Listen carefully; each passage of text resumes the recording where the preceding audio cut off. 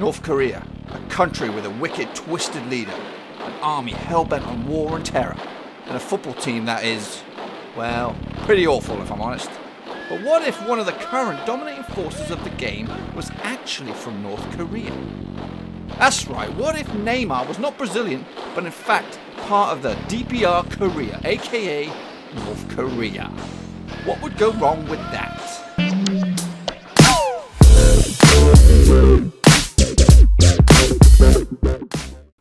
Experiment number two. After our bit of a disaster with Lionel Messi, we decided to bring in a younger superstar. This time, third best player in the world, Neymar. We're going to change his nationality to North Korean.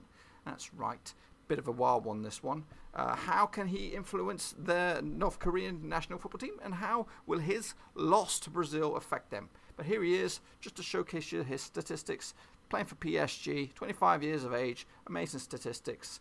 Uh, yeah, Nothing, nothing to get excited about right here. So Brazil currently ranked ninth in the world with Neymar. How about his future country? How are North Korea? They are ranked 117th in the world, managed by John Anderson. Now, before we get into this experiment, I just want to show you the parallel universe with a North Korean Neymar.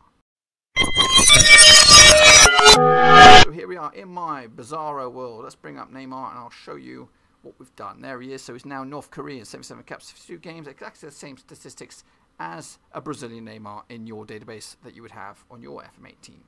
As for North Korea in this parallel universe, exactly the same world ranking of 117.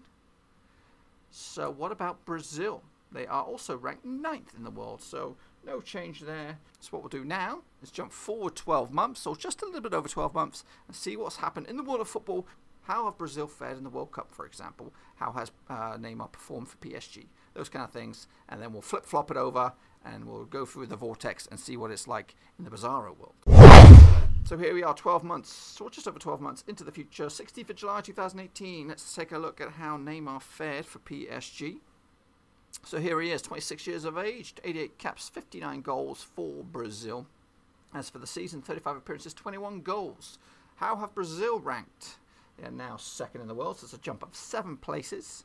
How did they do in the World Cup? Actually did terribly with Neymar getting knocked out in the second round by Turkey. I believe France went on to win the World Cup, uh, beating Holland 2-1. Now, how about North Korea? They're now currently ranked 94th in the world, still managed by John Anderson. That's a jump of 20 places, but nothing really special has been going on out in Asia. What about in the parallel universe with a North Korean Neymar? So here we are, we've travelled through the vortex into my bizarro world. So let's take a look at what a North Korean Neymar has done for PSG. He has got 81 caps, 54 goals for his new country, and as for the season, he scored 21 goals in 36 games. Not bad effort. How about his adopted country? His adopted country now ranks 76th places in the world. That's a jump of 40 in the world ranking, so pretty good going. Let's take a look at how they got there picked up big victories in the Asian Cup qualifying. Uh, Group A looks like they uh, spanked a few people, including Afghanistan 6 0. Neymar amongst the goals against Vietnam. As you can see, top the pops, top Group A, six wins out of six. How have Brazil fared without Neymar? They're currently ranked second in the world, so no change from the two Bizarro Worlds. But how did they get on the World Cup? This is a, a Neymar-less Brazil. They actually got knocked out in the quarterfinal stage by Germany. Let's jump forward another 12 months and see what happens now. So here we are in the actual universe with a Brazilian Neymar. Let's just take a look how he fared this season. 27 years of age, now 92 caps, 58 goals for his country. As for statistics, 36 appearances, 20 goals, and now Brazil ranked first in the world. So a Neymar Brazil ranked number one in the world. Obviously, we are deep into Copa America country. Uh, take a look back. They got knocked out the quarterfinals by England in the World Cup. Uh, and they are doing okay in the Copa America. They sit top of their group. Still plenty of football to be played. What about Neymar's adopted country, North Korea? Obviously, they don't have him in this version of the uh, experiment, but they rank 101 in the world. So that's a decrease around about seven places. But what happens in the parallel universe with a North Korean Neymar? So here we are in my bizarre world. It's 26th of June 2019, and we do have a North Korean Neymar. Let's take a look at how he fared for PSG. 33 appearances, 17 goals. How about North Korea? They are now 87th in the world. That's a drop of around about 10 places since I last spoke to you. I wonder why that is. We'll take a look a little bit deeper. So the reason to that drop is probably their performance in the Asian Cup, where they couldn't manage a win, picking up only one point out of three games. Um, so not not great, but they're now focusing on qualifying for the World Cup, as they have picked up two wins out of two. Not bad. They're, so they currently sit top of Group Three in the uh, Asian section. I think it's round one or second round. Sorry. So in good good stead. They could they could do something here. As for Neymar's former country, they drop to fourth in the world, and compare that to the real world where they're first. So it's drop of three places. Uh, the reason for that, I'm not too sure. But they're deep in Copa America uh, action right now, and they top their group, three wins out of three, so they could see that increase. But let's hop forward another 12 months back into the real world. So here we are, 25th of June 2020, in the real world where Neymar is Brazilian. So let's take a look at Neymar as his performance for this season or last season. Uh, 27 goals and 38 appearances. And as for Brazil, ranked first in the world. Why is that? How is that possible? Well, they finished fourth in the Copa America, losing out to Bolivia penalties. As for qualifying for the World Cup, they currently sit second behind Paraguay. It's a lot to do, a lot of games to play. Firmino's doing a, a lot of action. But Neymar's still there. As for North Korea, they are now 129th in the world. So that's a huge drop of, I don't know, 20 odd places. I uh, wonder why that is. It's probably because they've been absolutely woeful. Uh, trying to qualify for the World Cup, not this time. They finished rock bottom of their group, only got four points, and they fifth, finished fifth behind Oman. That's probably one of the main reasons of that significant drop in the world rankings. So let's hop into the Bizarro world now and take a look at a North Korea led by the wonder, third best player in the world, Neymar. So here we are in my bizarro world. The year is 2020. It's 25th of June. North Korea have Neymar, one of the best players in the world. Statistics for the season: 34 appearances, 18 goals, and they currently rank 65 in the world. Now compare that to um, the actual universe. They are ranked 129th in the world, and it's also an increase of around about 20 places uh, in the past 12 months. So huge jump by uh, North Korea, and I'm sure Neymar is a key part of that. But let's take a little bit look, closer look at how that has happened. Uh, as we look, the World Cup qualification, they are into the second or third or the final stage of qualifying for the World Cup. And how did they do it? They finished top of their group, winning 8 out of 8. An impressive 24 points, 17 goal difference ahead of the likes of Lebanon, Afghanistan, and Turkmenistan. Um, so pretty impressive. Pretty impressive going. Neymar must have been key in that. He doesn't seem to feature for the little games. The big general must say, uh, no, I must save you for the big games. Uh, and it's going to be interesting to see how they fare in this final stage, see if they can make it to the World Cup with Neymar at the helm. As for Brazil, they are now ranked second in the world, so that's a drop of, uh, I say, increase of two places. They were fourth last time in my Bizarro world. And why is that? They finished third in the Copa America, and they are now deep into the World Cup qualification phase, and they are second behind Argentina. Let's just take a closer look now at North Korea and their world ranking of 65 in the world. They currently are better than Bulgaria, Peru, Ecuador, and even the Republic of Ireland. But let's jump forward 12 more months and take a look at where we are now. So here we are back in the real world, 25th of June 2021.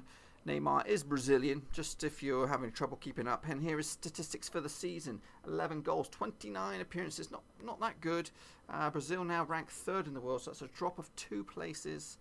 Obviously, um, no major tournaments going on at the moment. We're deep into the thick of things for the World Cup qualification. As for North Korea, they are 139th in the world, so that's a further drop of 10 places, and that's in amongst the likes of Bermuda, Aruba, Grenada, and New Caledonia. So, why has that happened? Possibly they've not really picked up many wins, important wins. Um, they even had a really disappointing East Asian Cup qualifying phase where they didn't even pick up a single win. Um, now, in the actual Asian Cup qualifying, once again they've not started particularly well, losing both their both their matches. So that's probably a huge impact on their ranking. Let's hop into the Vortex uh, with a North Korean Neymar. See how we fare this time round. Here we are in my bizarre World, 25th June 2021, with a North Korean Neymar. See how we are doing with the world rankings and such. How has he fared? First and foremost with PSG, 12 goals, 33 games. That's one better than the actual real world. As for North Korea's world ranking, 64th in the world. That's one place better than they were 12 months ago. Why is that the case? Picked up some wins along the way. Uh, we're not doesn't look like they're going to have enough to qualify for the World Cup. But the fact that they're in this particular qualifying phase is as a, just a, shows a testament to just how influential Neymar has been. As for Brazil, they have not moved. They still ranked fourth in the world. Why is that? Uh, we're just about to start the Confederations Cup. So currently, as it stands uh, in the World Cup qualifying phase, Brazil are third. They need some work to do if they're going to finish top. But let's jump forward 12 more months back in the real world and see where we are now. So here we are back in the real world, 25th of June 2022. The World Cup is near, but First and foremost, let's take a look at Neymar at PSG. 600k a week still. 14 goals, 38 appearances. Not a bad return. Uh, a little bit better than last season. Let's take a look at Brazil. They're currently still ranked first in the world. No change there. Why is that? We're deep into World Cup uh, action. They take on Egypt in the next round, in the second round. But we'll find out the results of that later. As for the Confederations Cup, they lost to the final against Mexico 2 1. So, as for North Korea, they're currently ranked 130th in the world, so it's probably the worst we've seen them. And I wonder why that is. Uh, let's take a look. So, they've not really been performing in the matches that matter, only picking up good victories in friendlies.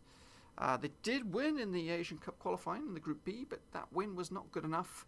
Uh, finished on five points, five adrift of second place Thailand, but Iraq topped the group with 18. So now let's hop into the vortex again, check out how a North Korea with Neymar have fared. So here we are, 2022, 25th of June, with a North Korean Neymar. Let's take a look at how he fared first and foremost with PSG. Here he is now.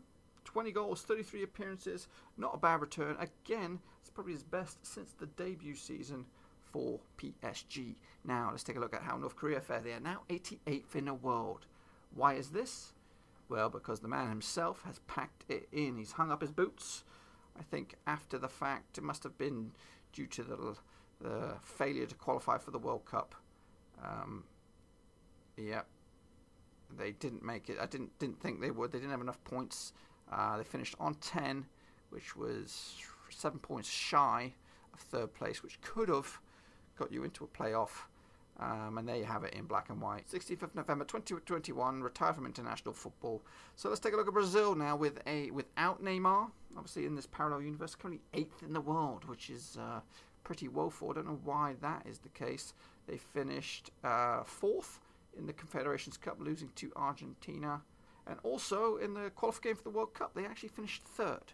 So let's for, hop forward one more time, 12 more months, back in the real world. Let's see where we are now.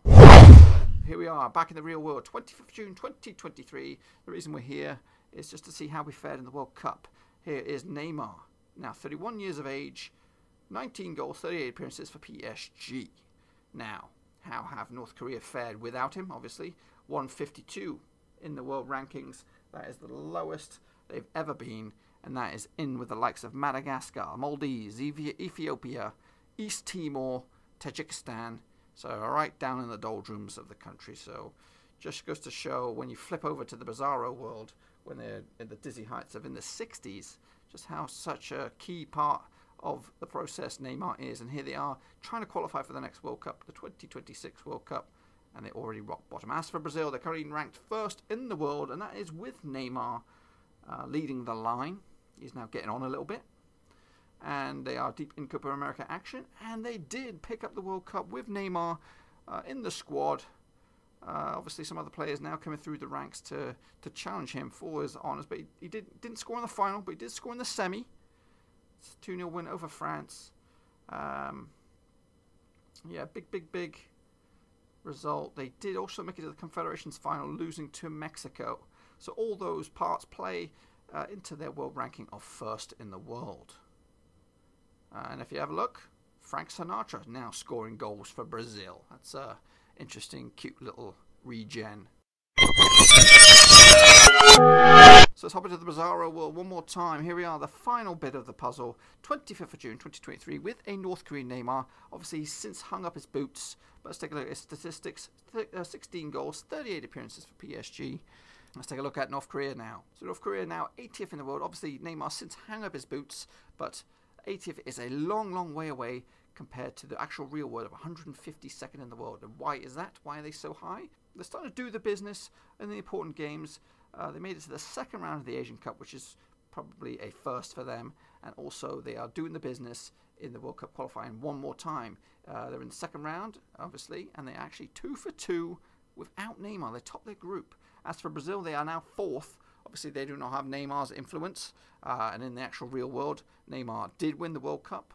But Brazil, in this parallel universe, or this, this bizarre world, got knocked out in the second round. That just goes to show uh, how such a key player as Neymar could influence a mighty powerhouse of Brazil. So returning to North Korea, they were, on my records, the highest was 65th in the world. But over the years, in the, between the gaps in the months that uh, we weren't there, they might have actually ranked higher. Well, as you can see, they were once ranked 58th in the world. Obviously, that was during the peak time of Neymar, and that is in and around the likes of Ecuador, Australia, Republic of Ireland, Iceland, uh, Bulgaria. So that's some ma- major heavyweights when you think about it on a global scale. So this experiment is just about over. Now, to summarise what we've what we've witnessed here, it's pretty pretty amazing. I'm, I'm pretty impressed at how this has all panned out. So with Neymar as a North Korean national football player, he took the country of North Korea, who, who initially started this whole experiment, 117th in the world, to the dizzy heights of 58th in the world. And he also managed to get them through to the second qualifying stage of the Asian World Cup qualifying business. And that's pretty a decent accomplishment as it is. Okay, since he's retired, a, uh, North Korea have dropped now to 80th place. So that's a drop of around about 22 places since uh, from their peak. That, all in all, that's a pretty good return from a player. Now, if you flip flop it back again and make Neymar a Brazilian and do the whole six years again, what we witnessed was he kept Brazil number one in the world for multiple seasons, and he also picked up the World Cup and making it to the finals of the Copa America as along the way. So not a bad return. It just goes to show what a key player he is for Brazil in the real world and North Korea in the bizarro world. Moving forward, we'll be doing more experiments just like this one, where we take a global superstar and change his nationality to a smaller country and just see how far he can take them into the future. Thanks again for watching. If you enjoyed this video, give it a thumbs up. And if you haven't done so already, make sure you hit that subscribe button. I'll keep you bang up to date with all FM18 content moving forward.